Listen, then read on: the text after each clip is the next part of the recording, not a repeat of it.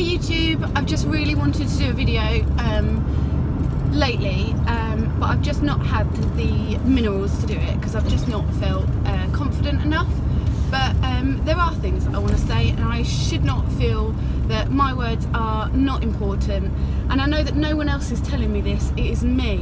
Um, and I had a little think last night and I realised why, and that's um, so I was watching the Dr. Phil uh, and Jehovah's Witnesses, um, where this woman uh, attends to say she no longer wants to be a Jehovah's Witness as she and her son are being shunned and so forth.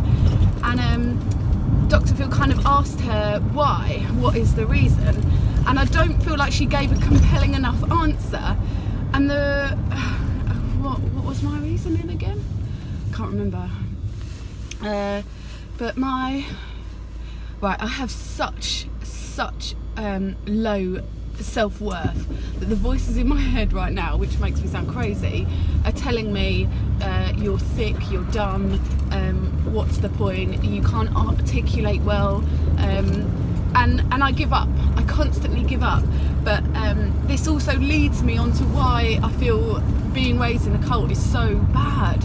And it's that you just really are not given freedom of thought.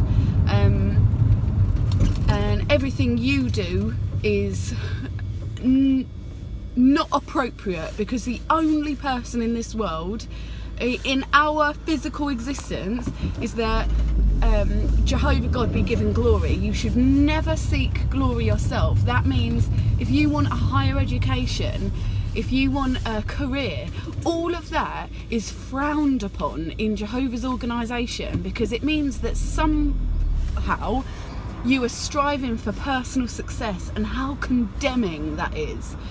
Well, because of that, many Jehovah's Witnesses don't realise that they have been trained to not think about their own success. And if they do, how shameful.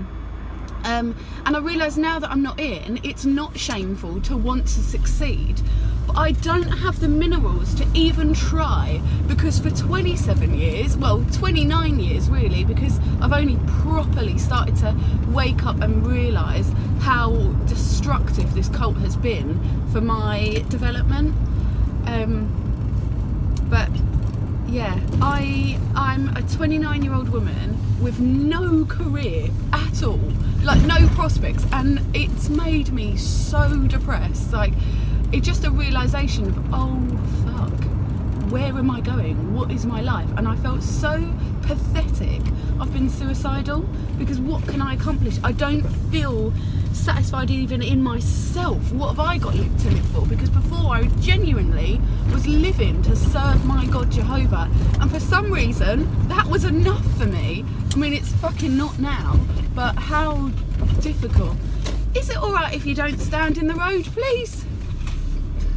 Um, yeah, so that it, it's so tough.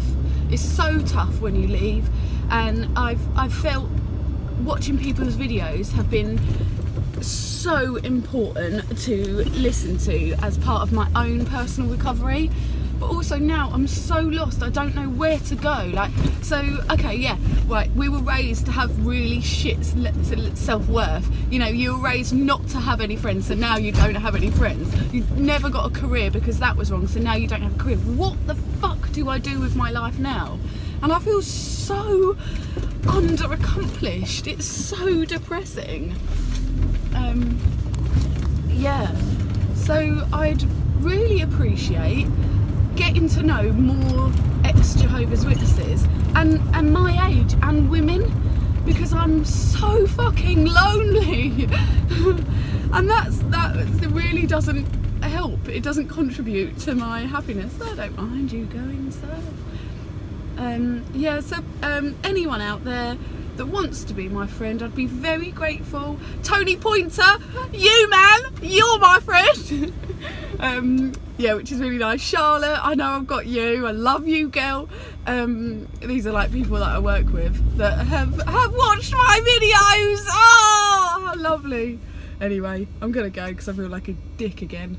I'm such a loser. I know I shouldn't say it but like all my life, all my life, I've hated my soul. Um, well, no, actually, because sometimes I think, oh, I'm so cute, and I, I really, I really revel in liking myself sometimes, but then I'm embarrassed, and and I, I have to almost like ask, like, is it is it okay if I like myself? like, I'm not big-headed, am I? Like that that is what the Jehovah's Witnesses have done to me. Um, I mean, it's it's so cruel. I mean, I'm surely, sure, I'm trying to convince myself now, but surely it's okay to kind of like yourself.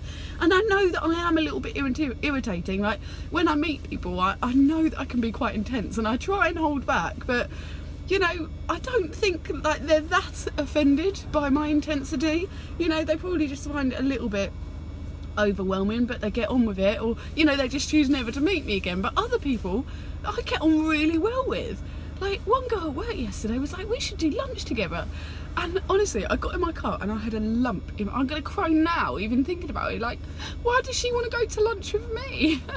like genuinely, like I've got such shit self worth, and it's because of that organisation and other Jehovah's Witnesses out there that feel the same way. I'm so on your side. So yeah, right. Love you all. Bye.